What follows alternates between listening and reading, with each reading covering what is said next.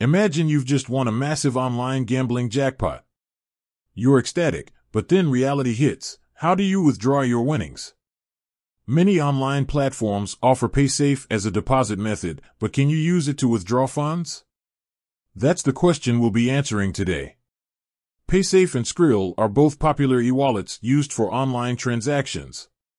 They offer convenience, security, and a wide range of accepted merchants. But can you transfer funds from one to the other? The short answer, unfortunately, you can't directly transfer funds from PaySafe to Skrill. Why can't I transfer PaySafe to Skrill? Different networks, PaySafe and Skrill operate on different networks. PaySafe is a closed-loop prepaid card system, while Skrill is an open-loop e-wallet. This incompatibility prevents direct transfers. Security concerns, direct transfers between different networks can pose security risks.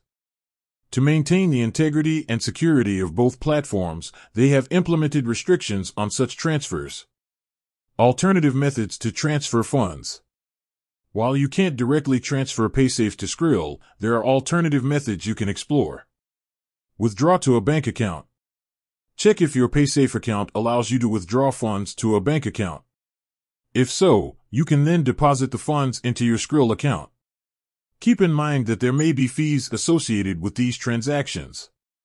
Use a cryptocurrency exchange.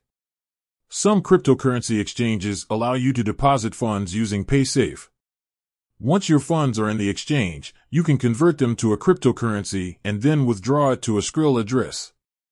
This method may involve additional fees and steps, but it offers flexibility and can be a viable option for those comfortable with cryptocurrencies. Consider other e-wallets. There are other e-wallets that might allow you to transfer funds from PaySafe. Research and compare different options to find one that suits your needs. Additional tips. Check with customer support. If you have any doubts or questions, contact the customer support of both PaySafe and Skrill. They can provide specific information and guidance based on your situation.